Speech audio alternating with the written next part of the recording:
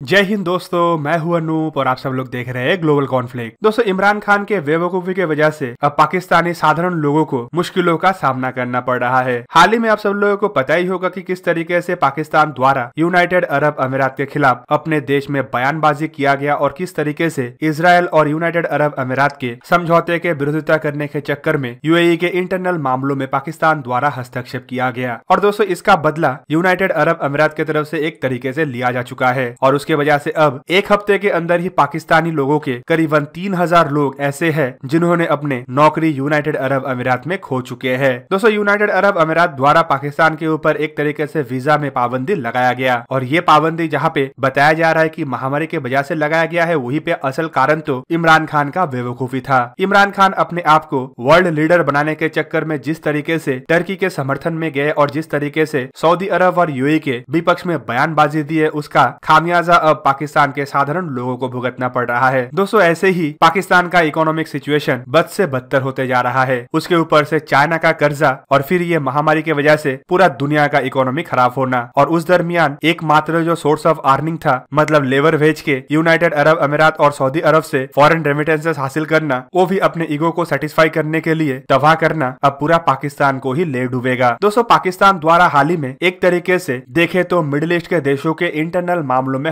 हस्तक्षेप किया गया। मिडिल ईस्ट के देश जहाँ पे आए दिन पाकिस्तान को भीख में पैसा देता रहता है और जिनके पैसे में पाकिस्तान अपना पेट भरता है, उन्हीं के ऊपर दादागिरी दिखाते हुए जिस तरीके का कारनामा किया गया, उसका ही अंजाम अब ये जॉब लॉसेस है। दोस्तों, आपके जानकारी के लिए बता दूँ कि बीते सत्तर साल में यूनाइटेड अरब अमीरात और सऊदी अरब जैसे देशों की तरफ़ से कई बार पाकिस्तान को संकट से बचाया गया और कई बार उधारी में पैसे दिया गया इवन इन पैसों को वापस भी नहीं लिया गया। जब भी पाकिस्तान के ऊपर सैंक्शन लगता है या दूसरे देशों की तरफ़ से आने वाले एड बंद हो जाता है तो यही देश है जो फ्री में ऑयल और पैसा देते रहते हैं। पर अभी सिचुएशन बदल चुका है। यूनाइटेड अरब अमीरात अपने नेशनल इंटरेस्ट को सर्व करने के लिए इसराइल के साथ दोस्ती कर रहा है और सऊदी अरब भी लगभग उसी तरफ़ आगे बढ़ रहा है। पर इससे पाकिस्तान के अंदर तिलमिलाहट इसीलिए है क्योंकि पाकिस्तान अपने आप को तीस मार्खा समझता है और समझता है कि अरब के इन देशों को वो डिक्टेट कर सकता है। पर अब अपने डिक्टेशन का फलस्वरूप उसे जिस तरीके का इकोनॉमिक कंडीशन को भुगतना पड़ रहा है, उससे आप देखेंगे की आने वाले समय में किस तरीके से पाकिस्तान कंगाल हो जाएगा। तो दोस्तों, ये था आज का वीडियो। अगर आपको वीडियो अच्छा लगा तो उसे लाइक कीजिए और मेरे चैनल को सब्सक्राइब कीजिए और साथ में बना हुआ बेल आइकन को भी प्रेस कर दीजिए ताकि आप मेरा वीडियो देख पाए सबसे पहले। जय हिंद।